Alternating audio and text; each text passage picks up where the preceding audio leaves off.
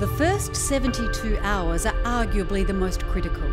In that time, everything inside these two sheds needs to be on a ship and out to sea. It's a race against time. When that clock starts, months of scheduled maintenance, diligent planning, and operational training are put to the test as a carefully choreographed dance of cranes, trucks, ships, people, and planes begins.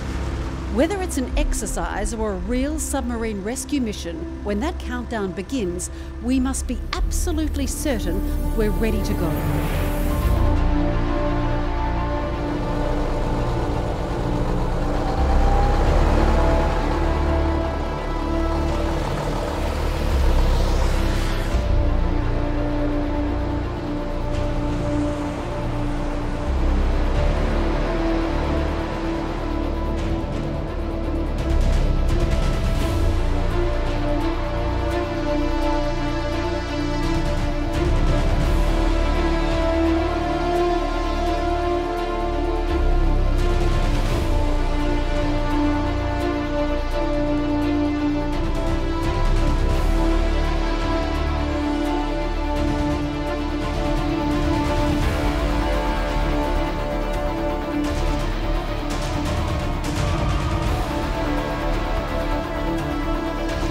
Entirely self sufficient local team has mobilised both intervention and rescue systems.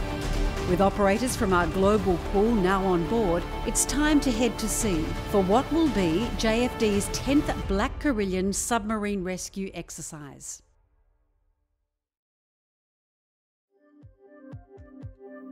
The first day at sea is always a reminder that submarine rescue is about so much more than just delivering equipment.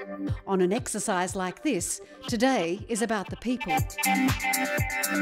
With more than 35 years of submarine rescue backing them, JFD's team is among the world's most experienced operators. Every exercise is an opportunity to improve, to develop procedures, to find new ways of working and ultimately to enhance the capabilities of the system.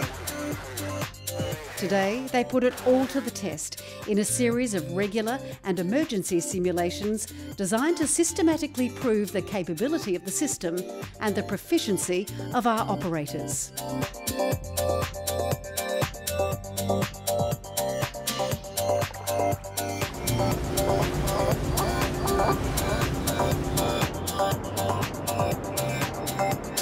Uh,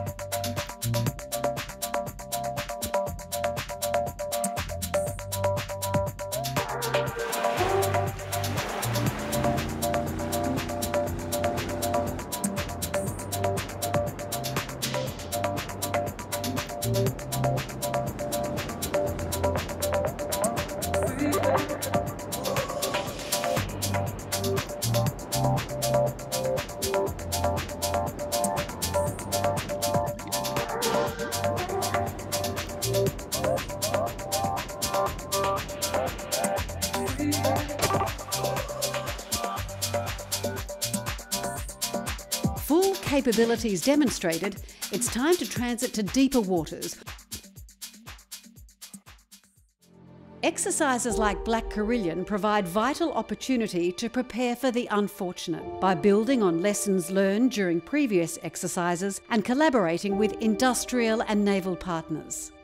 This year, we're working with our American and Japanese counterparts to practice simultaneous operation of multiple rescue systems in shared water space on a single disabled submarine.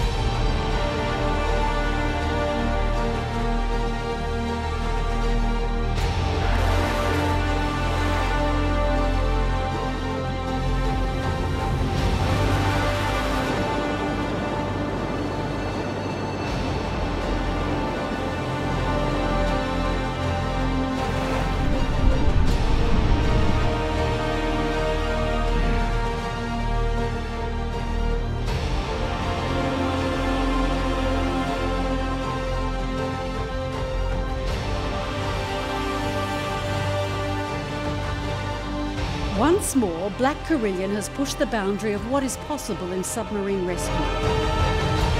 The James Fisher Submarine Rescue System is not only the smallest, lightest, and most portable in its class, but thanks to regular exercises like this, it's also one of the most capable. As the largest and longest serving commercial provider of escape and rescue services, we are dedicated to those who serve subsea.